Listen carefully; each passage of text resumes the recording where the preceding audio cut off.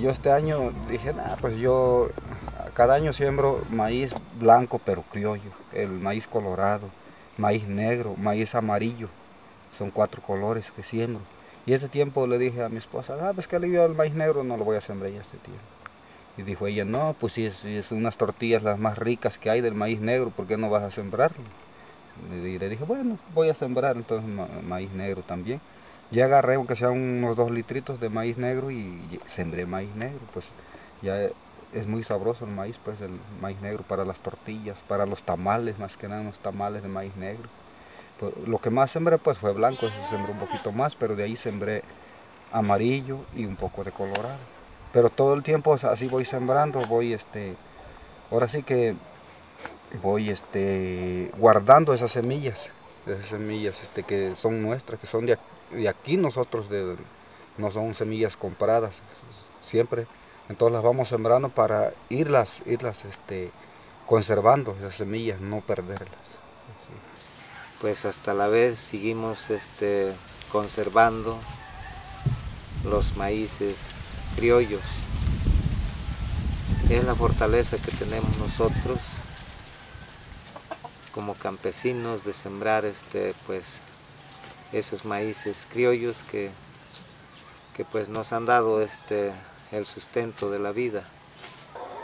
Pues cuando seleccionamos el maíz, la semilla para sembrar, pues lo hacemos ahora sí que este, entre los dos, entre la esposa y el esposo, para ponernos de acuerdo qué clase de maíz, si va a ser maíz colorado, maíz prieto, maíz blanco pozolero.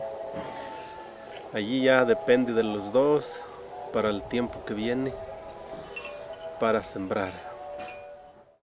Porque el maíz criollo es más, más sabroso, más dulce y pues tiene este un sabor más rico, sea para comer elotes, un atole blanco o morado, es más, más rico que, que el maíz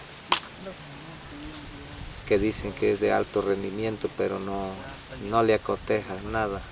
Si de veras este, quiero comer, ahora sí que tengo que trabajar bien, pues, como me enseñaron mis padres o mis abuelos. ¿eh? Tengo que agarrar la yunta y sembrar, y dar tierra, y abonar, y endosar dos pasadas. Y así este el, suelo más se afloja, menos hierbas hay, el maíz más se da. Yo he sembrado siempre el maíz criollo en tiempo de, de la milpa, cuando está este, espigando la milpa, allí se ve cuál es el maíz que sigue siendo criollo. Yo siempre tengo esa experiencia de, de, escoger mazorca del centro del, terreno que siembro. Porque si, si por los lados lo, contamina el, el maíz que siembran, que venden por kilo, pero en el yo como, como experiencia tengo de escoger este mazorca para semilla del centro del, terreno que siembro. Y yo el maíz que he sembrado ya tiene muchos años que lo estoy cultivando y sí me, me ha dado bien. Este,